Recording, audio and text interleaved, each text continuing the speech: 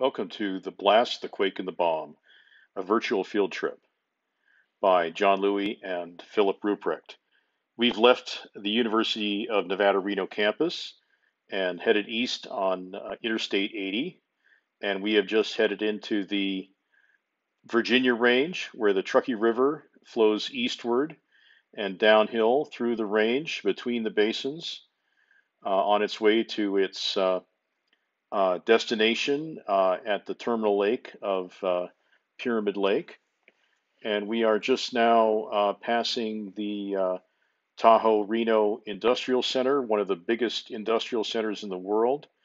And if we were taking this trip um, before uh, 8 o'clock on any morning, we would have been in traffic for at least half an hour. Um, so we are. Um, now uh, going through the uh, tertiary uh, andesites uh, and um, and domes of the um, the Kate Peak and other uh, volcanics. And after crossing the Truckee River on its way north of Pyramid Lake, we're going to exit in Fernley East.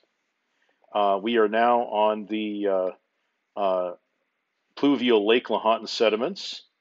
Uh, now, uh, after stopping at uh, Steve's Ice Cream or one of the many gas stations, we're heading east towards uh, Hazen out of Fernley.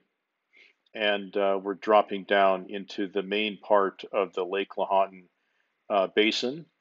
the um, on the on the left on the horizon, you can see Fairview Peak and the Stillwater Range. So we're heading into uh, Fallon. Here we are on the west outskirts of Fallon, and we are soon going to be climbing up the uh, very shallow sloping cone uh, deposited by the Soda Lake eruption. So we uh, uh, now we're uh, nearing the um, the rim of the crater, and whoops, there's a big sand pit there that uh, my car can't handle.